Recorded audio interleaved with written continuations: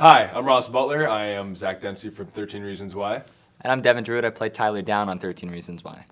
streaming on Netflix now. Today, we are going over fan theories that you guys sent to us. I'm gonna I'm gonna start. Go. So we're gonna get this this big guy. Is Hannah a ghost? Once and for all, is Hannah a ghost, or are her appearances solely to demonstrate that her memory is haunting Clay? Hannah, in our show in season two, It's not a ghost. Clay sees her as kind of uh, it's kind of Clay's consciousness and and his memory of her. A manifestation. It's a manifestation of his thoughts and, and his memories of her, so that he can work through his his trauma and Yeah. uh, and his uh, his working to, to let her go. Next one. Let's do it. Ooh, that was smooth, buddy. Good job. Zach and Alex are totally a thing.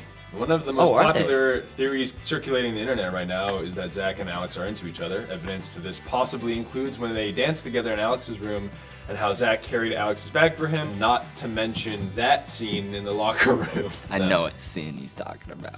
No, I, I think they have just, they have a bromance. Um, I wouldn't even Like a ours. Everyone is allowed to be friends and have platonic relationships. Friendships are cool. We're young teenage boys. We have no idea though. We got the hormones flowing through through our, our blood, and sometimes you you pop you pop a broner. Hashtag Zalex forever.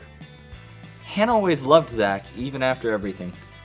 After learning the history of Xana, fans were really upset that Zach had a dedicated tape in the first place. He had another chance to save her, and uh, I think he had a pretty good chance to save her, and, and he didn't because I think after your episode in season two as well, um, I think it's that much more hurtful what Zach did to her in season one because of their close relationship. To be hurt, uh, you know, because that's like the second That's time that Zach has hurt her. that's why I thought like after the season people wouldn't like Zach as much because it's like he had another chance. Yeah, and he had an 'cause he hurt her- he hurts stronger her- reason to do it, and and he didn't. So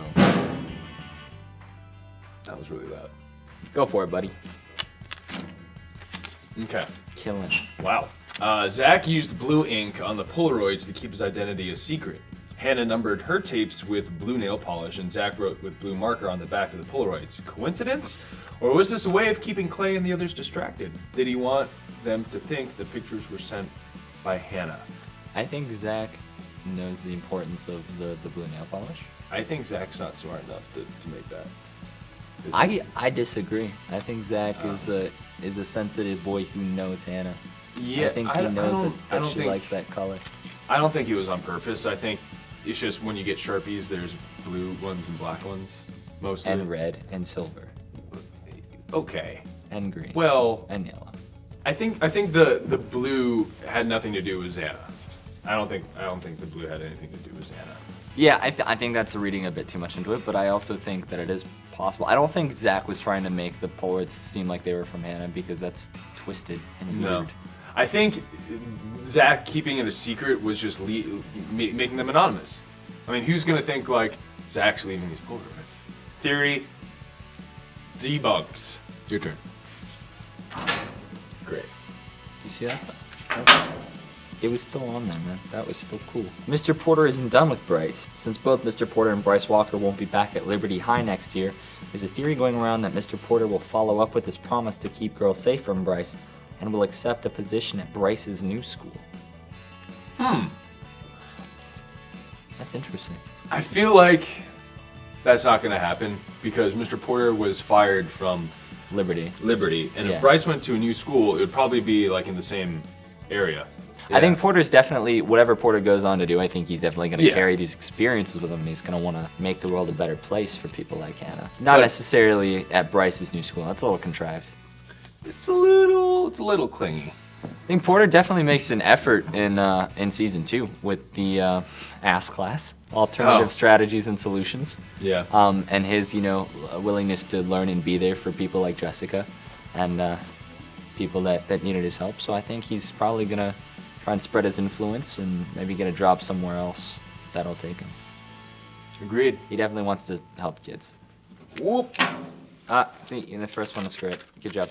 Season three will be all about VHS tapes. Fans are convinced that because the first two seasons centered around cassette tapes and Polaroids, that season three if there's a season three. We'll also include some form of old school technology. A fan with the username at Dan Lynch 94 is convinced VHS rentals will be used. Well, Dan Lynch, 94, uh, it's possible. I would say. I love VHS tapes. It's possible. What other like Uh, retro Pokemon cards. Game Boy Advance cartridges. I was thinking maybe like compact discs. You know, like That's dumb. My idea is better. VHS tapes. It's a possibility. Next one's you. Is it? Yeah. Go for it. That was so cool. Clay will protect Tyler. At the end of season two, Clay is left outside of the school holding one of Tyler's guns. One theory is that Clay will take the blame for everything in order to protect Tyler. Would Tyler let Clay do something like that, or would Tyler come out and admit it all? I yeah, I think Clay will protect Tyler, but I don't think he's taking the fall for anything. I think when we leave Clay, you can hear the sirens, but we don't see the lights yet. I don't believe. I don't think they're close enough. I think Clay has time to possibly run and stash the gun somewhere. I doubt that they said specifically who had the gun. Yeah, it was probably like somebody It's called the like, police and was like, it's like, hey, I think someone might be showing up with a gun. yeah. Or I heard a classmate has a gun and is coming to the dance. And then I don't No. think Clay, I, but I don't think Clay would take the fall. I don't think he's gonna. I don't think anyone's taking the fall. I don't. I don't think. But for I this think they're gonna come. They won't find anything. I'd say. I, I think that it'll be about Tyler's. I think Clay will just want to help Tyler recover and, you know, figure out, you know, Yeah. how to get through the trauma that he's been through. I think anybody who's gone through what Tyler has deserves some help. I think you know, mm-hmm. people in our society need to, you know, be able to access the help that they need and and be able to discuss them. Okay. Tony takes Tyler to the Bakers. At the end of season two, Tyler gets in Tony's car to escape the cops. Clay never says where they're headed, but some fans believe Tony will take Han- Tyler to Hannah's house and ask Miss Baker to help hide him and stop her from going to New York. Miss Baker would want to protect another troubled student, and she trusts Tony. That's cute. I like that. Uh, I like that idea.